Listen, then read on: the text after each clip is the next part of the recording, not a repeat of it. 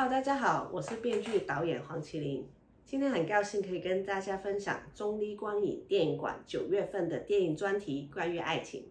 这个九月，电影馆以关于爱情为名，策划了丰富的电影片单，呈现了爱情不同的面貌，有透过不同的外在观点反思伴侣关系的议题，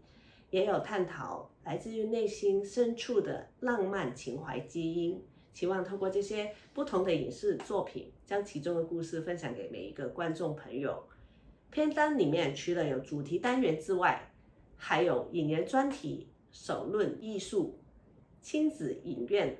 怀旧剧场、热销强档等不同的单元。喜欢看电影的大家千万不要错过哦！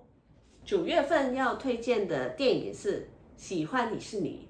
它是一部香港电影，由两位新导演杨朝凯跟吴永山联合执导。这个电影呢，在香港来说，它是比较少见的一个呃女同志的题材。因为香港其实蛮多高中是只有女生在练的女校，但是以这个作为电影背景的故事其实不多。然后，哎，里面因为它处理女生之间的介乎于爱情跟友情之间的情谊，我觉得也处理的非常的细腻。然后也有一些可能台湾观众没有都非常熟悉的一些演员，可以透过这个电影慢慢了解跟认识一下香港的特有的一些女校文化，非常推荐大家到中立光影电影馆去看这部电影。跟大家推荐一部九月份的片单，就是我自己的第二部电影《填词 L》了。田七二之前是用田池脸这个名字有参加过金马奖，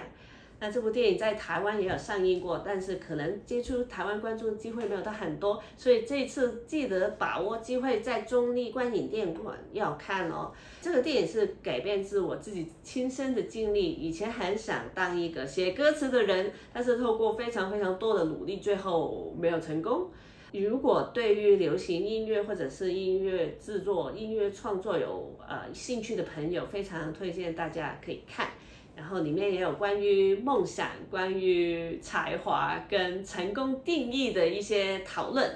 非常希望大家可以跟我一起去分享这个故事。然后九月十四号，我自己也会到中立观影电影馆跟大家一起进行这个影后的座谈。那我们就约定在中立光影电影馆见喽。